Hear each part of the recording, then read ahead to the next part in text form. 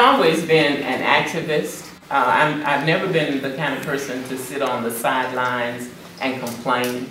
You know, there are a lot of people who don't like a lot of things that are going on and they sit and they complain. Well, if I see something that I don't like, I try to change it myself.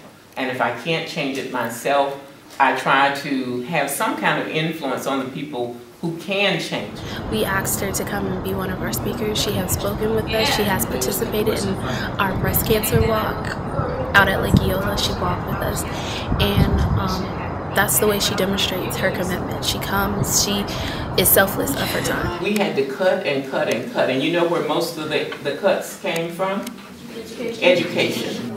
And I'm saying now that the economy is on the rebound, the tourists are here and they're paying a lot of the taxes that help us build our budget. We need to restore funding to education. Coming from being a young African American woman and seeing how she, you know, has progressed in life and seeing the things that she's doing and everything, it really, you know, gives me insight that I can do it. I, you know, can be successful, just as successful as her.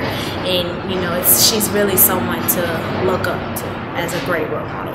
So I said, well, you know what? I started thinking, maybe I ought to run for the legislature and bring my perspective to this whole process and see if I can make a difference. So Virtual Success have been one of the best programs I've ever been introduced in my life. It really and helped push me as far as possible forward. It motivated me. It gave me all the inspiration needed. And honestly, it's like the biggest reason I wake up every morning and go to school faithfully. You know what they tell me, Senator Thompson, we've had 500 calls uh, saying that they want you to vote against raising tuition.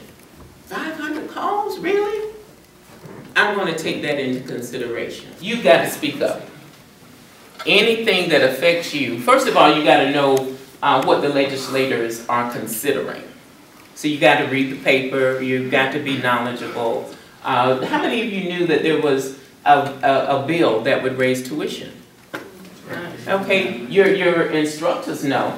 Some of you know. And then you got to speak up. You got to contact the people who are going to vote and let them know how you feel.